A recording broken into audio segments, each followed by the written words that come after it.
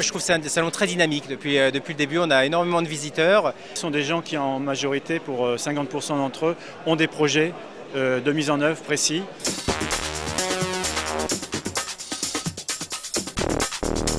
Documation, c'est vraiment l'événement de référence euh, de la GED, de l'archivage, enfin de toutes les problématiques de CM.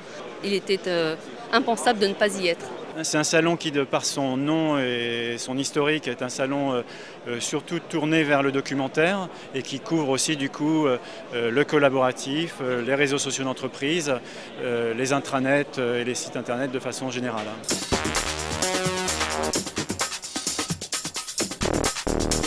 Il y a des démarches qui sont initiées par des sociétés privées ou même publiques, euh, qui sont des démarches concrètes avec euh, des budgets, de l'enregistrement jusqu'à l'archivage, hein, puisque ça touche tout type de domaine euh, d'activité.